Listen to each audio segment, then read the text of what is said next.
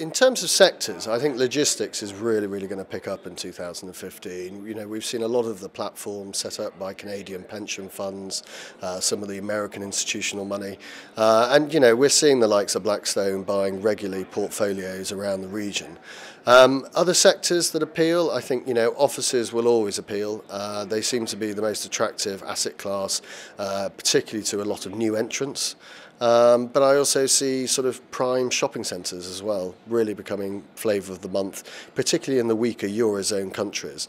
Um, we really are seeing a lot of the uh, capital chasing secondary product in the really good, strong economies uh, of Europe, and uh, it's really chasing the sort of core product in the weaker Eurozone countries.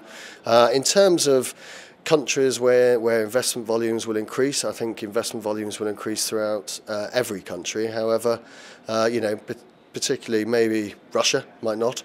Uh, but I think the countries that have uh, done uh, their structural reforms, like Spain, will continue to see more and more assets uh, being bought in that in that country. And I just think the UK and Germany, leading the uh, economic recoveries, will see a lot more capital as well with their stable economies.